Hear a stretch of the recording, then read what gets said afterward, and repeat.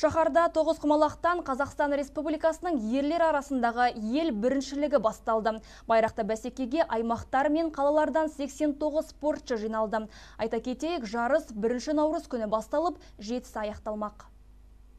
Елімізде соңғы кездерде зияткерлік ойындарға жіті көңіл бөлініп келеді. Соның бірі тоғызқұмалақ. Бүгінгі таңда тоғызқұмалақ ойыны аймақтарда кеңінен тарап жиі өткізіліп жатыр. Соның бірден бірге Тараз қаласында жалғасын тапты. Яғни бұл ұйымдастырылған жарыстың басты мақсаты Қазақстан Республикасының ерлер арасындағы жеңімпаздарын анықтау. Айта кетейік, мұндай байрақты бәсекеге халықаралық дәрежедегі Мейрамқұл Ноғайбаев төрелік етуде.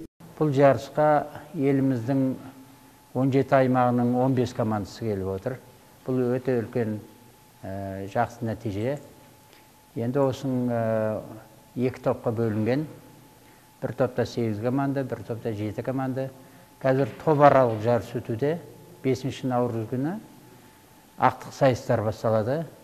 Миды шарықтатар тартысты додаға облыстардан 15 құрама топ қатысуда. Соның ішінде халықаралық дәрежеде спорт шеберлері мен бірінші дәрежелі спортшылар да бар.